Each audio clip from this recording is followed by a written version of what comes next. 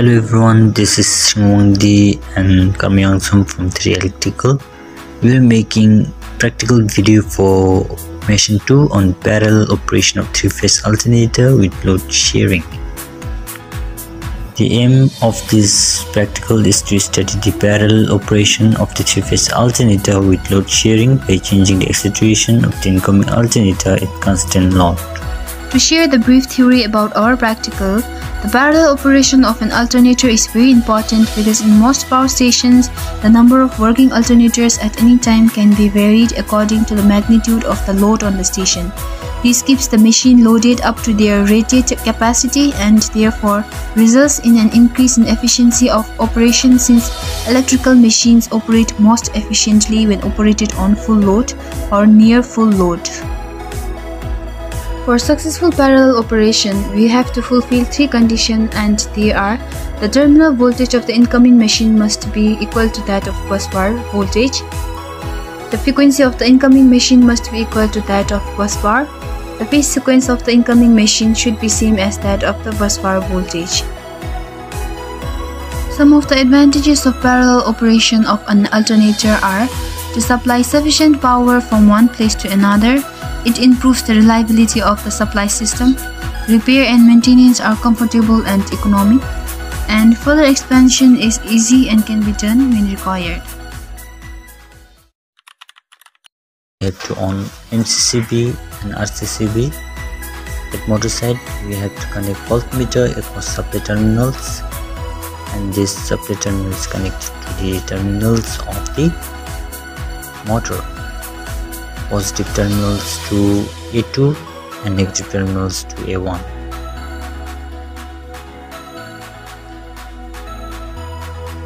And A1 and E1 is shorted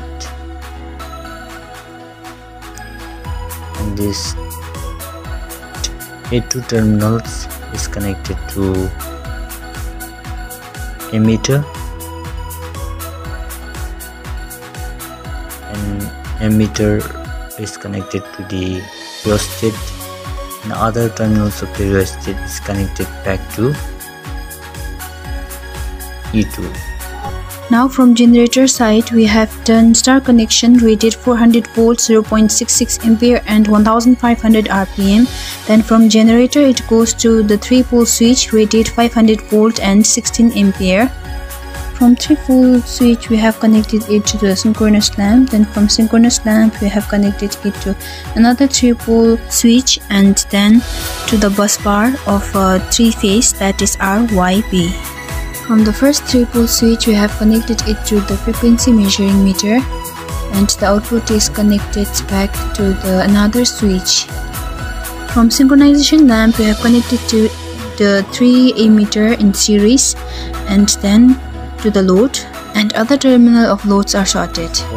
One voltmeter of a 500 volt is connected to the generator for the measurement of the terminal voltage. From the field F2 is connected to the ammeter for the measurement of the field current and from ammeter it is connected to the DC source and then from the negative side of the DC source we have connected it to the rheostat which is kept at the maximum position and from the rheostat we have connected it back to the field that is F1.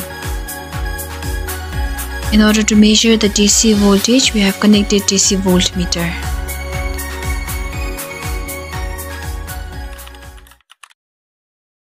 Now coming to the operation, we have to give supply from the generator side and supply should be given give to its rated supply till we get the speed of the generator to 2000 now speed is increasing corresponding to the increasing supply supply voltage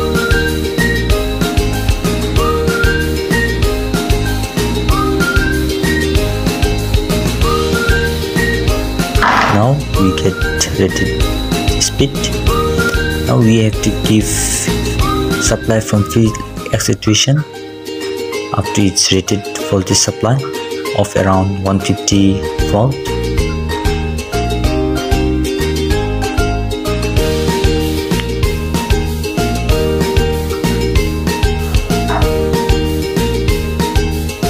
Now we are getting 150 volt.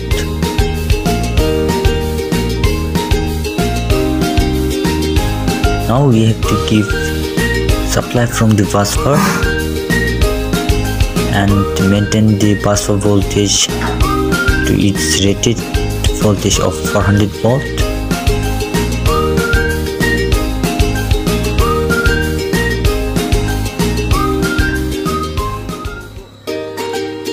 Now we are getting it to around 400 volt.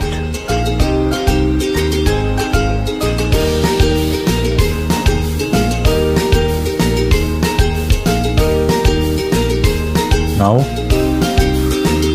in order to sequence the phase sequence meter we have to maintain the terminal voltage equal to the busbar voltage by increasing the rheostat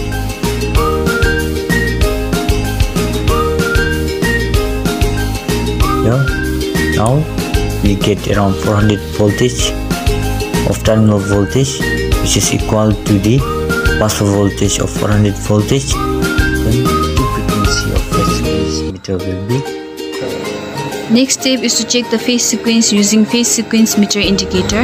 We have connected it to the bus bar side and by switching on it runs in the anti-clockwise direction. Now we are connecting it to the incoming side that is generator side. And on the switch we check the direction of the phase so it is also in the anti-clockwise direction. In both cases, it runs in anti-clockwise direction, therefore the lamps are rotating. So our third condition is fulfilled. Next step is for two bright and one dark lamp method. For that, we are varying the resistance to decrease the speed of the rotating lamp. We are decreasing the value of the resistance to 0, but the speed remains same. So to decrease the speed, we are going to vary the supply. Now, by varying the supply, lamps are rotating slowly. After that, we are switching on the synchronization lamp switch when the one lamp is completely dark. And that's for two bright and one dark lamp method.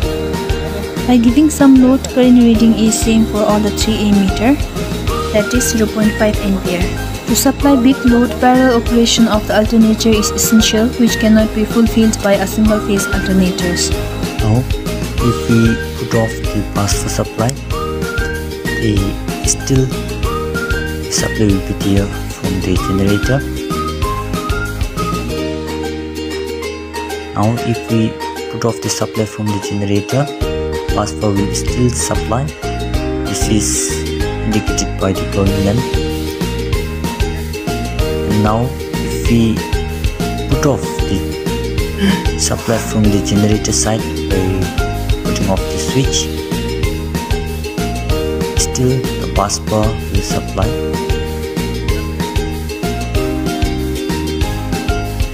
Now if we off the supply from the bus side by putting off this bus switch.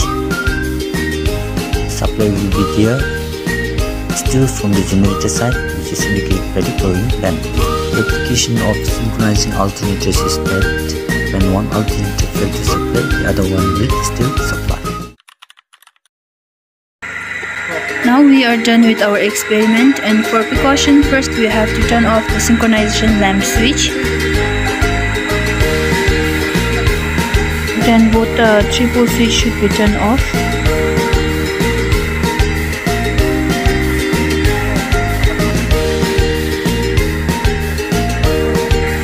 Next we have to switch off the bus bar.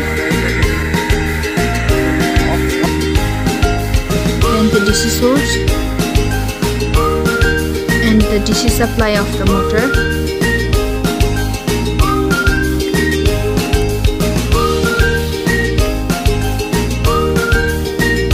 And our main supply that is RCCB and MCB. Doing this practical, we have to consider few precautions. Number one, incoming voltage should be slightly higher than passing voltage. Number two, while varying the excitation, do not vary with sudden large variation. Number three, maintain constant speed, same phase sequence, same terminal voltage, and same frequency of the alternator.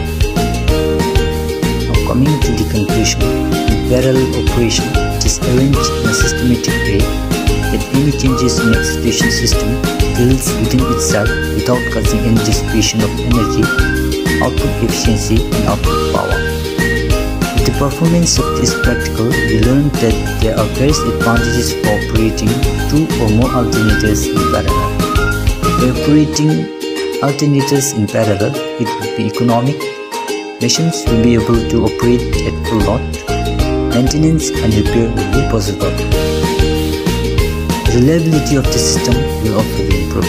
Hence, we conclude that it will be better to run two or more alternators of smaller rating the load to run one alternator of larger rating.